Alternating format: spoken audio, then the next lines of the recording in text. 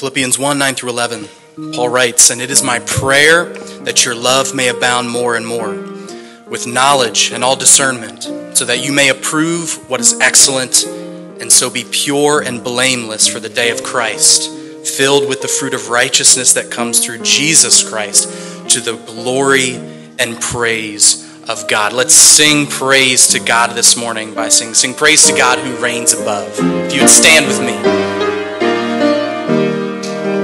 Sing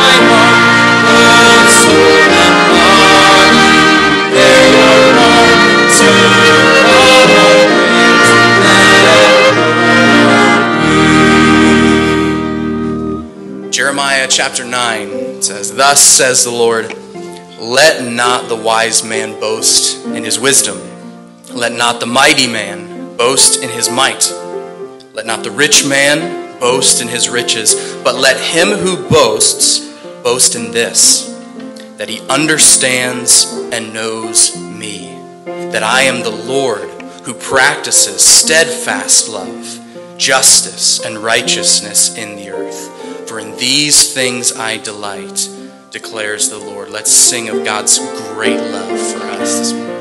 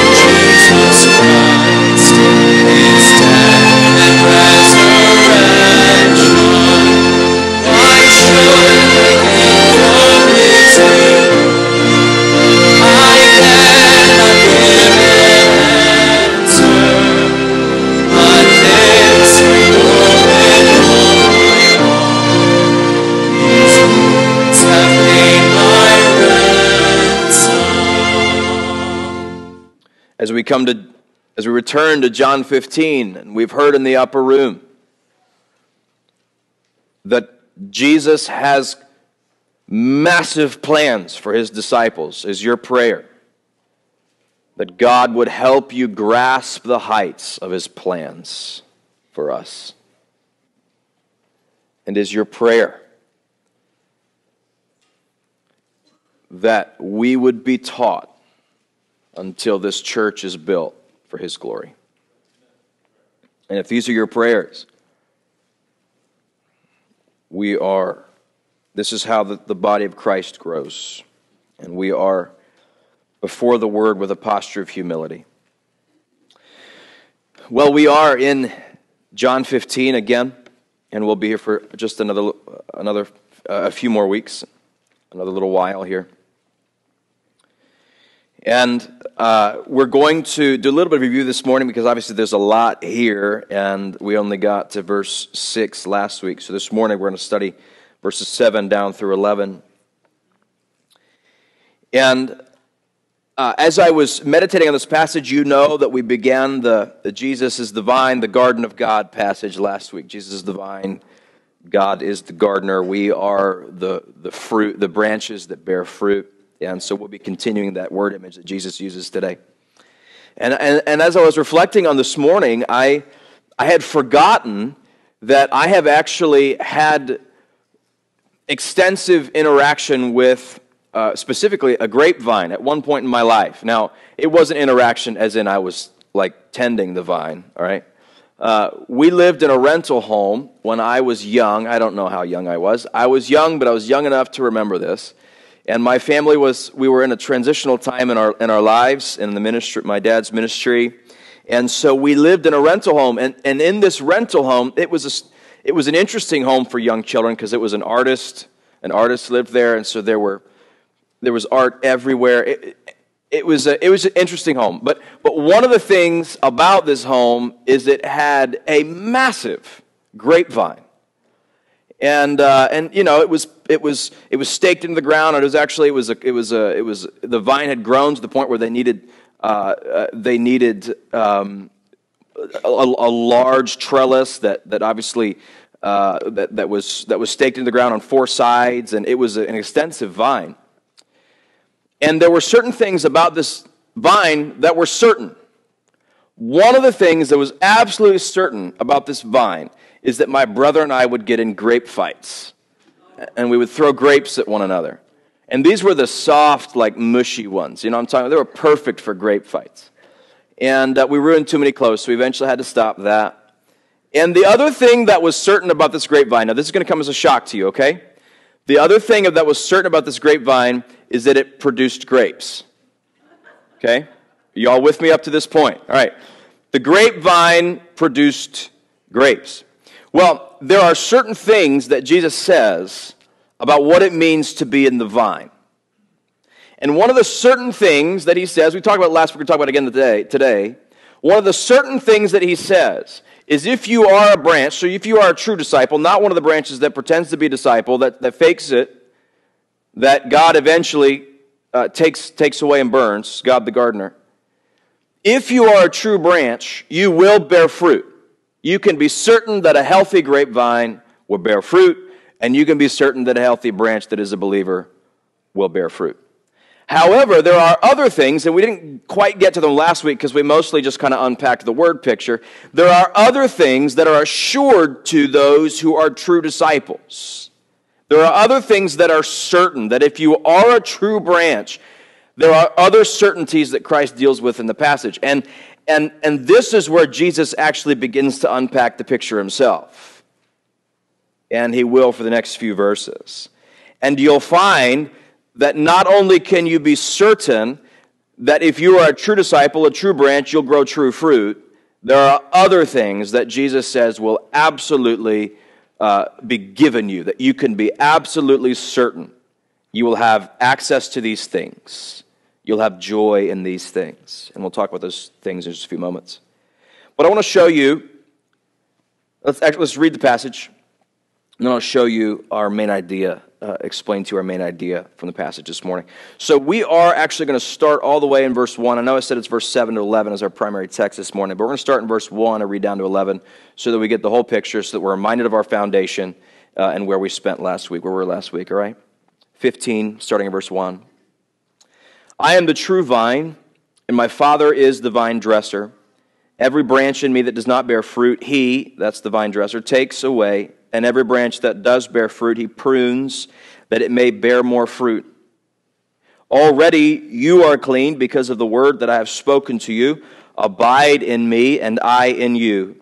As the branch cannot bear fruit by itself unless it abides in the vine, neither can you unless you abide in me.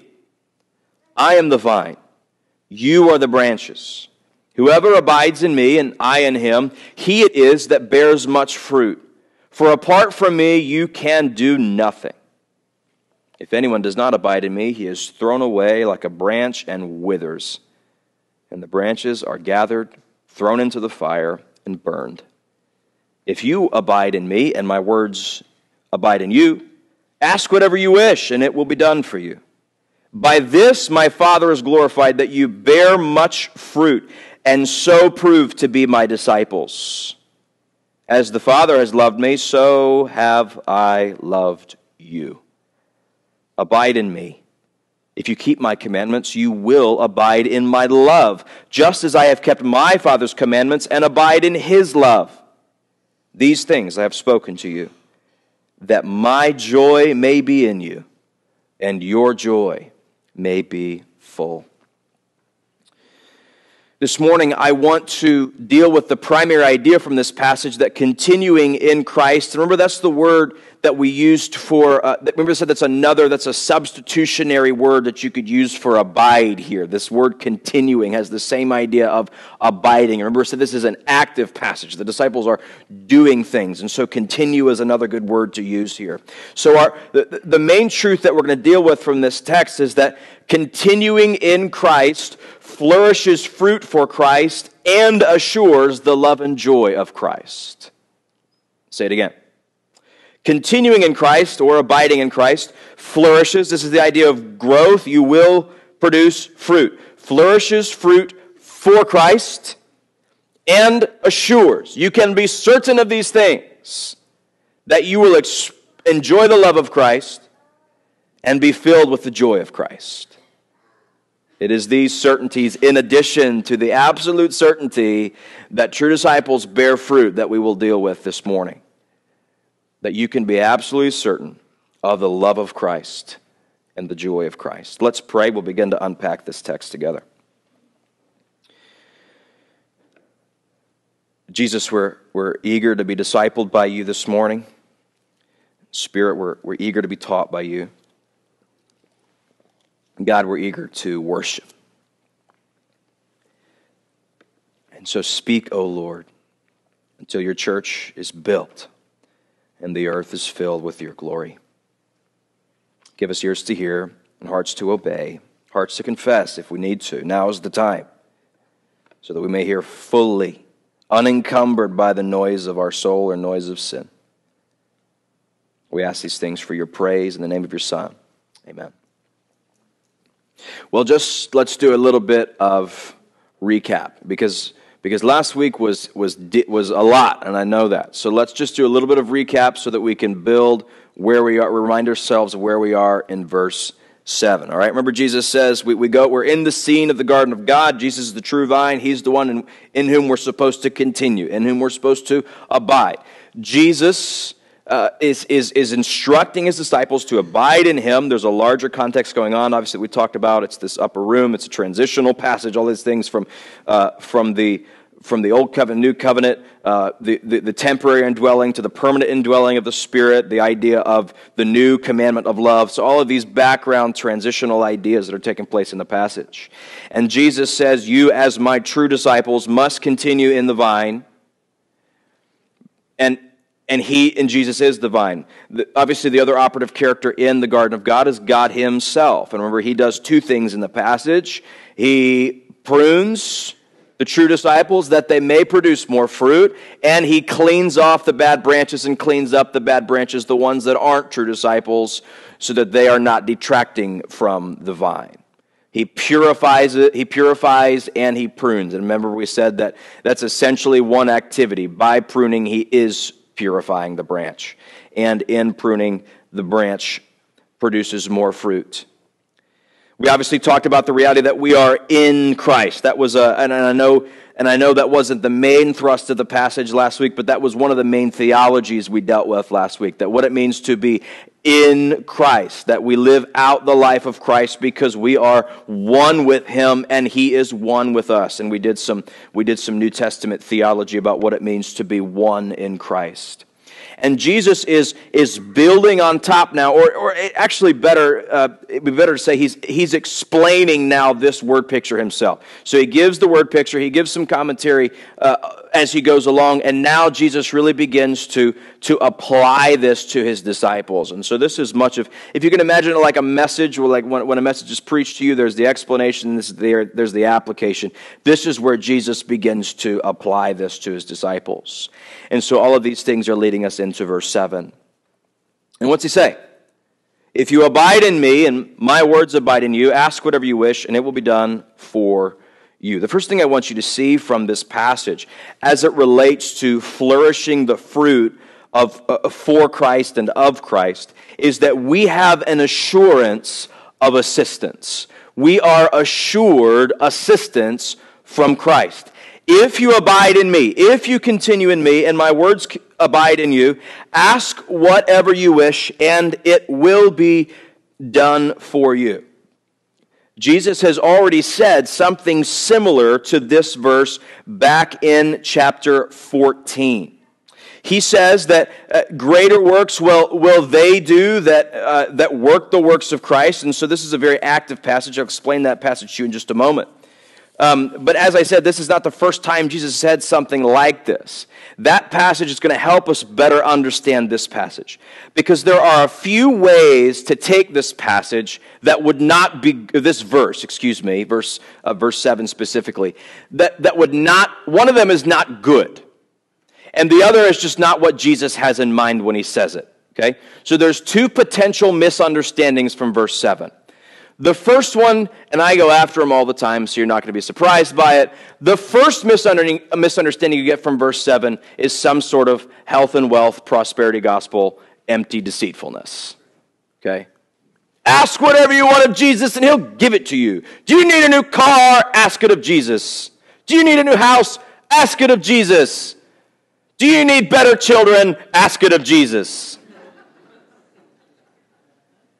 And you say you're being, you're being crazy. I'm not being silly. That's what people say. Like Jesus is a game show host that can just give you this car and give you this house. They would probably ignore verse 6 of this passage, which says that God takes away fake disciples and burns them. Probably wouldn't like verse 6. I don't think anyone here has that in mind. I don't think anyone heard that when I read that because I think you're a mature congregation. You are a mature congregation. So that's one way you could take this. I don't think anyone heard that because we're not oriented to hear that. Hopefully, you're not oriented to hear that. If that's what you want to hear, I'm just telling you, I love you. You're in the wrong place. All right? The other one is actually a mature question to ask. And it's actually a, a very personal and kind of deep uh, reflective question to ask. And it goes something like this Have you ever asked something of Jesus and it not been given to you? So, the, the, the explanation, what Jesus says here, doesn't actually match with your experiences. And you, as a believer, you believe God, you trust God, you, you trust the Word. But, but what he says here doesn't seem to match with your experiences. And that's obviously a very logical question to ask here. And this is why we learn to read the Bible with the Bible, because the Bible answers the Bible. And as I said, Jesus has already said something like this once before. And that passage helps us better understand this passage. So I want to deal with, with maybe that, that concern because it is a valid concern. When we read the Bible, it, it is absolutely true, and we've all experienced it. Um, we read the Bible and we, we come across something that doesn't match our experiences, which is where we have to be careful that our experiences don't form our theology. Our theology informs our experiences, right? We don't place, we don't place personal understanding over biblical understanding. Uh, back in chapter 14, verse 11, we, we are reminded that, that this passage, the upper room passage, is, a, is a, an action oriented passage. And there's many things in it. It's a promise oriented passage, it's an action oriented passage. But the action of the text is that Jesus is saying, You as the disciples, remember now that Judas is gone, you as the disciples are going to do things. You're going to be busy. Okay?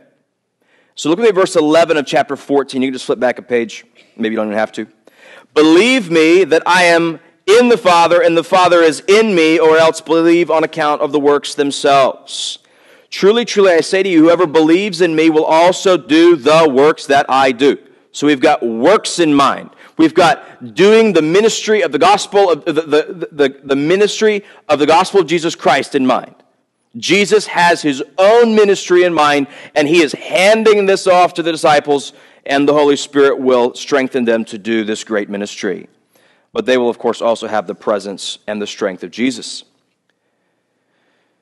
And greater works than these will he, that's the disciple, do. Not, not going to fully go into that because remember we said that that's not ability, that's, that's, that's more the idea of magnitude. The disciples will accomplish multiplication work, the multiplication ministry of Jesus Christ because I am going into the Father, I'm going to the Father. Verse 13, whatever you ask in my name, this I will do, that the Father may be glorified in the Son.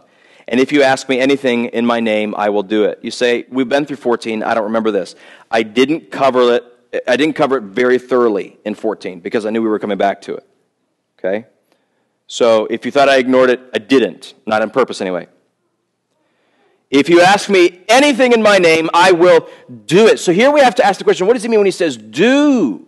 What Jesus means when he says do is what he has intended for the disciples to do, which is the gospel works of discipleship, the ministry of Christ. So he's not just saying, anything, if you need anything, if you ask it, I will give it to you. That, it's, it's not that general. Remember, there's a very specific context here.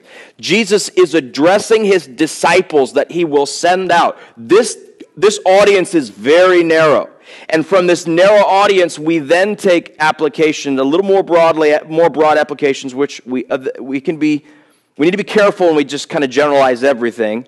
Uh, otherwise, we'll end up in places like this. But if we understand the specific audience, it makes sense that these disciples would make specific requests. Do you remember the disciples in Matthew 17?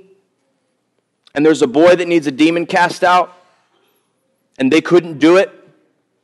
And they come back to Jesus, and they say, Why couldn't we cast him out? What did Jesus say? You didn't have the faith. You didn't have the faith to do it. And then that's when he goes into the kingdom of God. Like a mustard seed. So this, this miracle sets up this teaching of Jesus. So do you not think that there are times in the, in the lives of these people, these 11 men, in their lives, when they're doing the ministry of Christ, when they're going, I don't know how to do this work in front of me.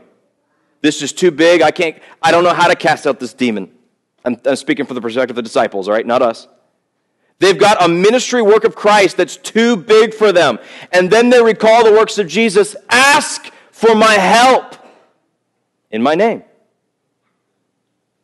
So that's what Jesus means here when he says, Ask me anything, and in my name I will do it. What he says, if what he means is if you have a ministry work that's in front of you that's too big for you, because they all are, ask in my name and it will be done for you. So it's not just this general um, you need something from Jesus and he provides it for you. It's very specific. Now, listen, that does not mean there's no application for us. the underlying principle that Jesus communicates here is relevant across all the generations of Christ's people. You say, why do you say that? Because I think we very often don't accomplish things for Christ, or we don't do as much as we could because we don't ask for help. Just like what we talked about last week. You can't do anything unless I strengthen you. Remember, what, remember we said what he means there is you can't do anything truly eternal in value. Thomas Edison once said, opportunity is so often missed because it's dressed like overalls, dressed in overalls and looks like work. And I think for believers, we often miss gospel opportunity because it looks like too much work.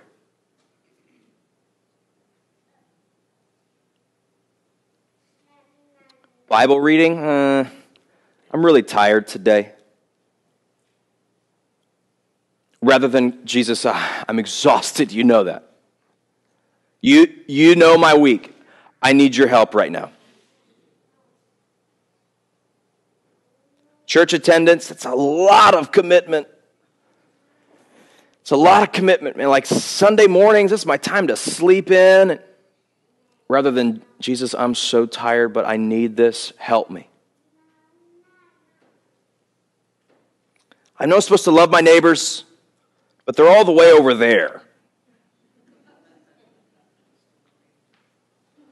I don't understand them. They don't understand me. We don't have the same lives, whatever. What if you just ask Jesus for help?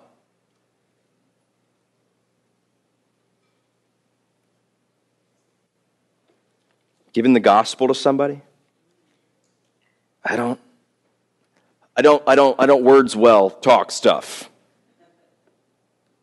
I don't know what to say. I've not been trained in this. We just ask that Jesus would help you.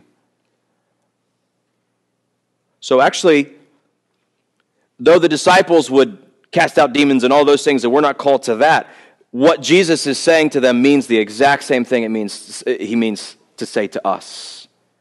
There are things that are too big for us in life that we don't have the ability for.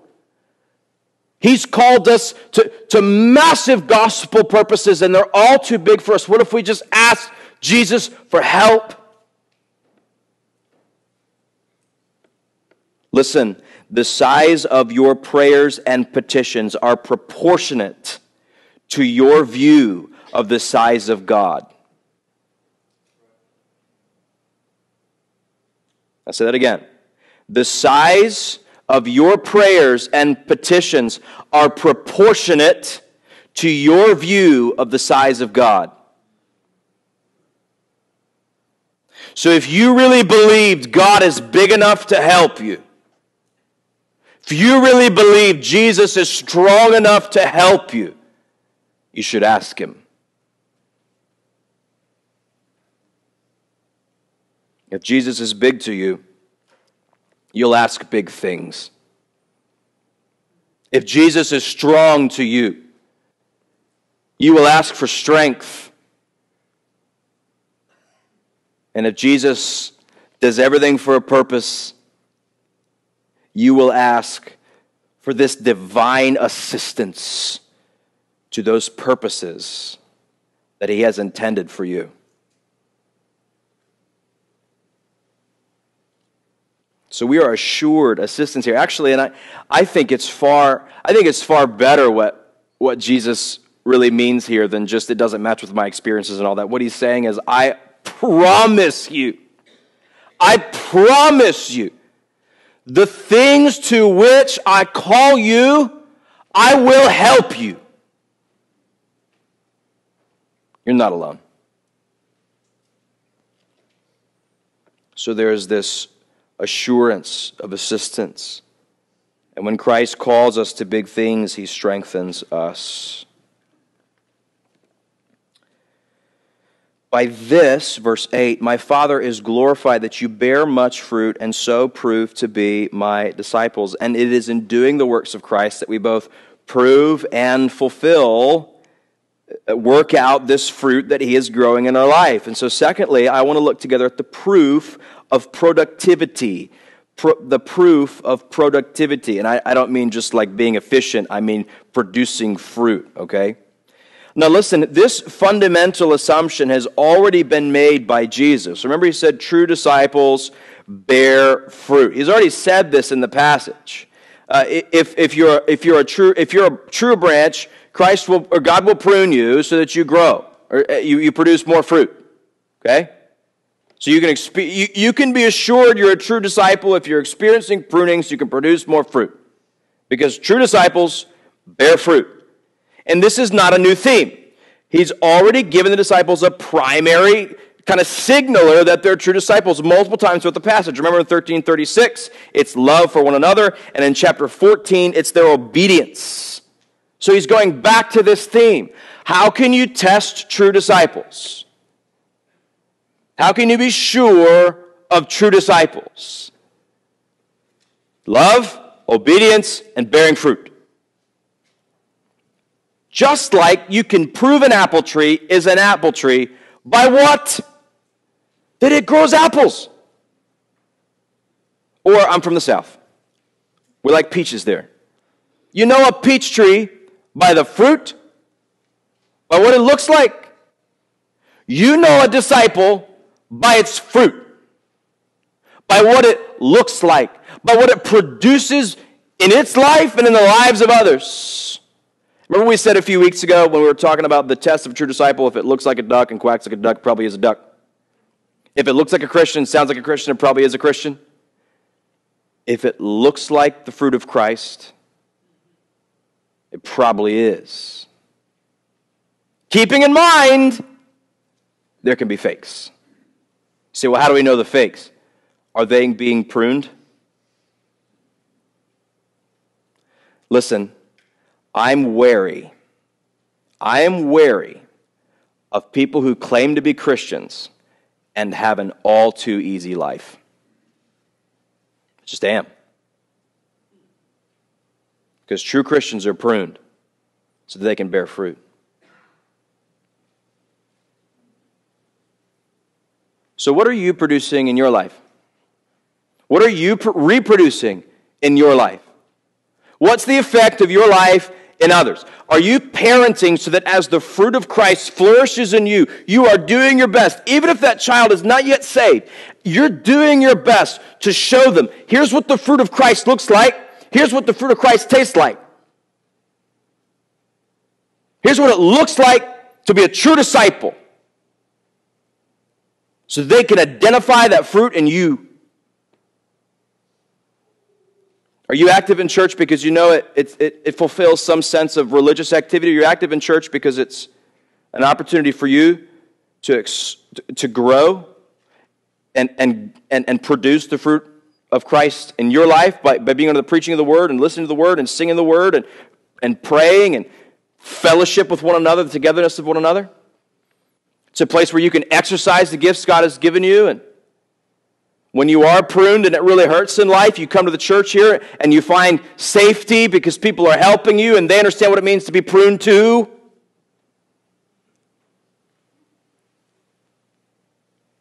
The fruit of Christ bears obvious marks. So, first of all, you can be assured that God, that Jesus specifically will help. Secondly, you can you can guarantee that a true disciple will bear true fruit. There's the proof of productivity. Thirdly, as the Father has loved me, so I have loved you. Now, again, this is one of those verses, one of the things I want you to do when you read the Bible, and maybe this is a Pastor Fisher thing say wow occasionally, right? This is one of those that you just go, What? Are you serious? As the Father has loved me, so I have loved you. With the perfection of the love of God the Father, so the Son expresses that affection towards those who are truly His. Now, there are certain things reserved for Jesus because He's Jesus, right? Uh, even in the book of John, John chapter 3, the Father loves the Son, has given all things into his hands. I know God has not given all things into your hands. Okay? We try to live like he does sometimes. I'm in control of this, and I'm in control of this, and I'm in control of this because I have all things in my hands. No, you don't. John chapter 10, for this reason the Father loves me because I lay down my life that I may take it again. Did you hear that verse? We, we studied it because we're in John. For this reason, one of the one of the express motivations of God's divine affection for his son is because he was obedient even to the point of death on a cross. If you were to ask me, why do you love your son? I'd list a bunch of silly reasons. I'd list some serious ones. My son is strong in all the good ways and in all the bad ways. My son is, he loves to hug and then he loves to fight. So it's a problem. If you ask God, why do you love Jesus? He would say, because he's going to die.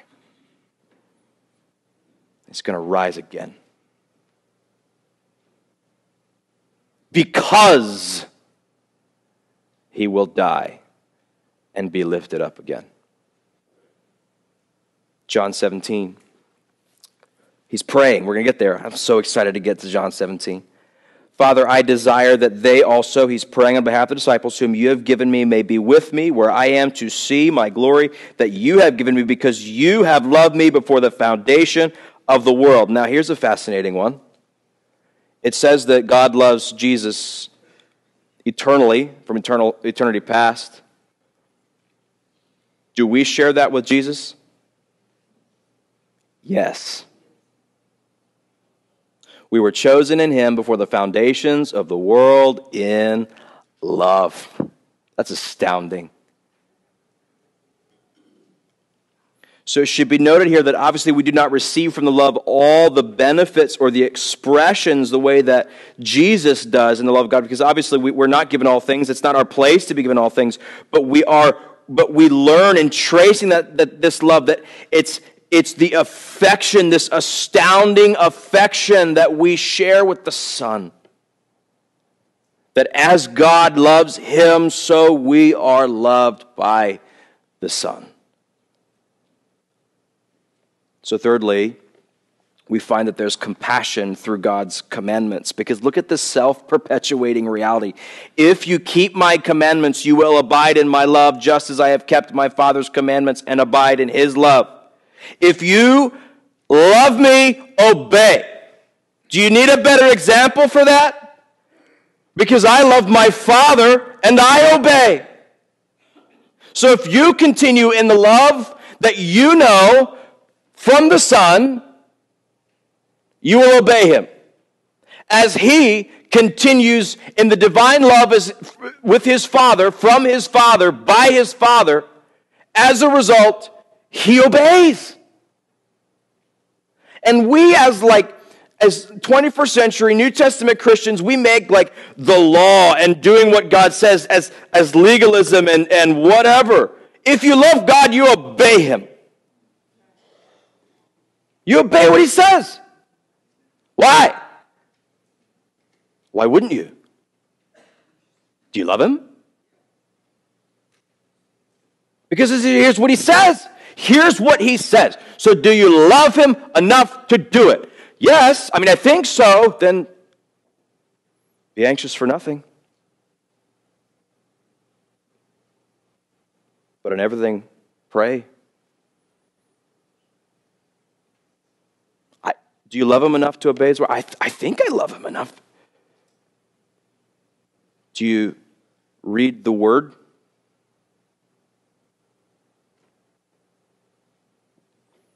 Do you meditate on the Word? Do you prioritize a New Testament congregation?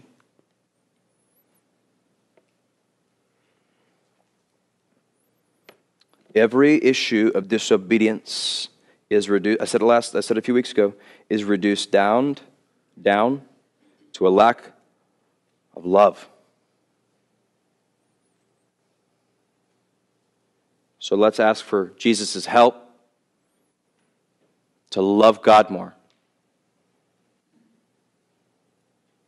And I'm not in a place to be disloyal or to only live out his love selectively. Do you know why? Because his proof of love for me was blood trickling down a cross. His proof, proof of love for me was a body that was marred beyond human resemblance. His proof of love to me was a calling out of sin and a restoration to himself. And so I'm not in a place to go, I, I love you, but I don't like that one, so I'm not going to do that one. If we're not going to obey, we can't claim love.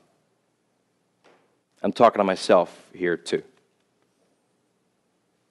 So let's be careful with our categories and our terminology.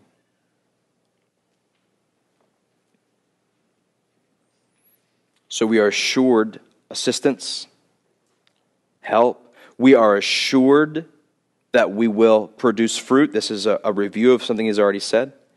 We are assured that if we continue in Christ, we will know divine and astounding love. And we're assured one more thing in the passage these things I have spoken to. I think he's being very specific. And he's being, I think he's saying everything he said in the upper room. I don't think he's talking about teaching all the way up to his ministry. I think he's being very specific. The upper room teaching that my joy may be in you. And that your joy may be full. So finally, we are assured the joy of Jesus. We are assured the joy of Jesus. Jesus in the upper room has promised his peace would be unto us, chapter 14, verse 27, that we would continue in his love, 1510. And now he says you will have his joy. Isn't God a kind God? You want peace? Here's my son. You want stability and true love? Here's my son. You want joy in life? Jesus has got it, and he wants to share it with you. He has it fully and perfectly. He wants to share it with you.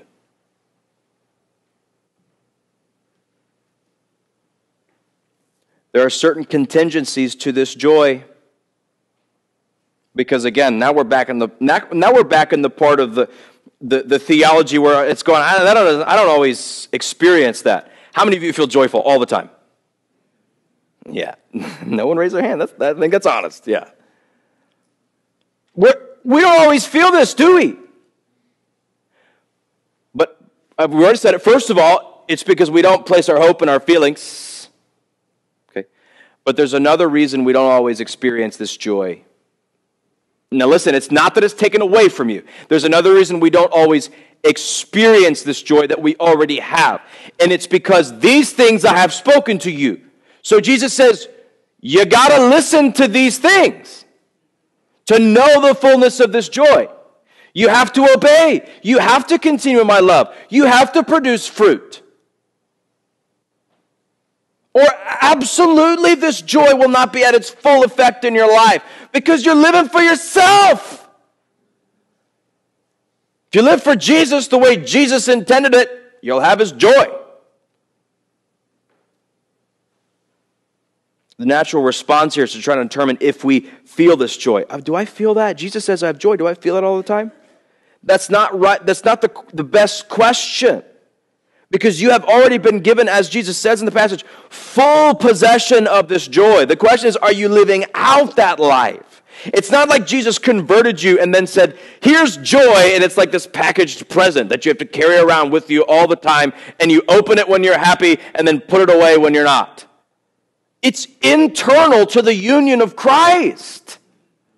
When you receive Christ and He's in you and you're in Him, this comes with it. Isn't that awesome? But we don't always live it out because we don't listen to these things. So continue in Him, ask for His strength, and continue in His love, that your joy may be full. So we are assured help. We're assured help.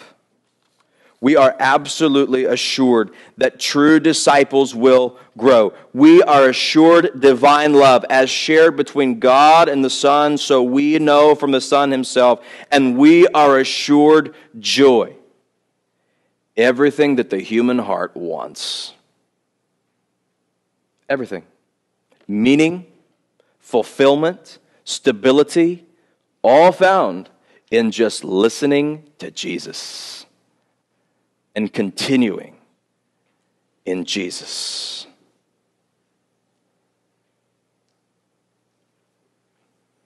So let's live out this fruit. Let's listen to these things. Let's be faithful in our union to Christ and live out the Christ life. It is no longer us who live, but, but Christ who died and Him that lives in us. Let's take advantage of the divine resources available to us and ask for help. Let's be kept fully and assured of this love. I promise you, brother and sister, you rest in the love of God, it'll get rid of your fear. I promise you. I'm not saying it's easy, I'm just saying it'll happen. Let's obey him and know this endless, full, overflowing joy promised to us in the person of Jesus Christ, given to us in the union that we now endure and enjoy through Jesus Christ. Let's show the world what true branches bearing fruit look like, what it tastes like, and they may want it too.